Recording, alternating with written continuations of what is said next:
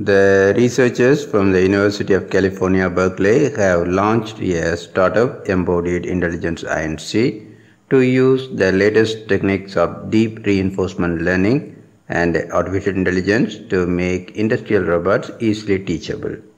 Right now, if you want to set up a robot, you program that robot to do what you want it to do, which takes a lot of time and a lot of expertise.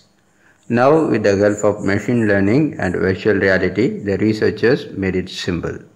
Using a VR headset without ever touching the robot, people can train a robot in a day, in contrast to the weeks to months typically required to write new computer code to reprogram a robot.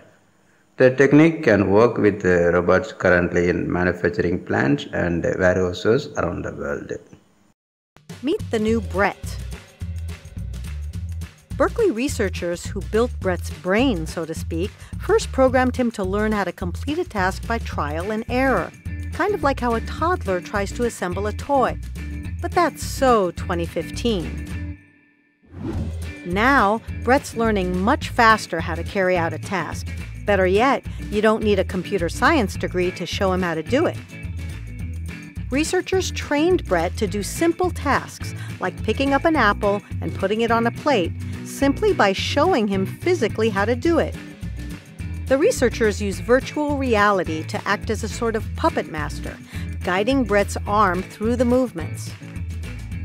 After only about a half hour of practice, during which researchers slightly changed the position of the objects each time, Brett was able to go it solo, achieving the task by watching and guiding his own movements. Brett learned how to do 10 different tasks this way. It seems like only yesterday that Brett needed a lot more programming and time to get that toy airplane piece into place. And now, more grown up, Brett just needs to be shown how it's done and he's off on his own.